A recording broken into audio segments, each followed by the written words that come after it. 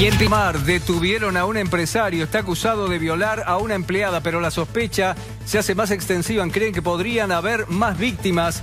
Este es el momento del operativo en que el empresario queda detenido por parte de las fuerzas de seguridad. Todo noticias presente en el lugar. Mariana Segulín, buenas tardes.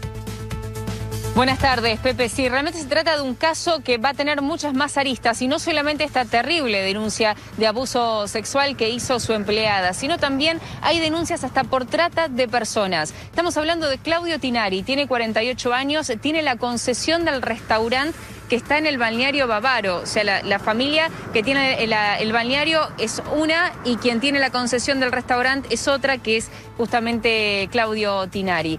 Allí él contrata generalmente en forma temporal a empleados que trae incluso desde otras provincias. En este caso, la víctima es de una zona del Gran Buenos Aires.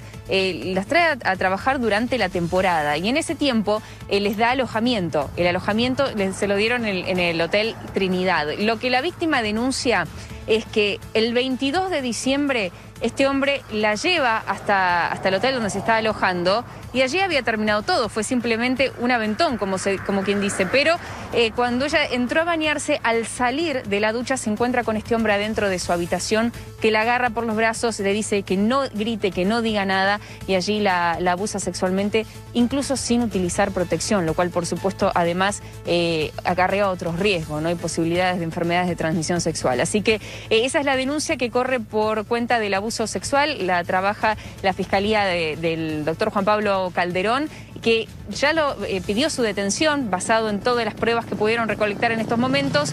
Eh, pidió la detención y el juez de garantías le otorgó ese pedido de detención y por eso es que ayer se lo llevaron detenido. Hoy lo indagaron pero se negó a declarar. Por eso, eh, a raíz también de otras denuncias que tiene este hombre, eh, van a estar pidiendo un peritaje psicológico, tanto de él como de la víctima, también para ver si hubo algún tipo de secuela, además de la obvia, ¿no? de la secuela emocional que, conlleva un abuso de estas características. Les decíamos que esto tiene otras aristas y es porque no solamente está siendo investigado por el fiscal Juan Pablo Calderón, también está siendo eh, investigado por un fiscal de Madariaga, por Walter Mercury, quien tiene una fiscalía especializada con delitos conexos con la trata de personas.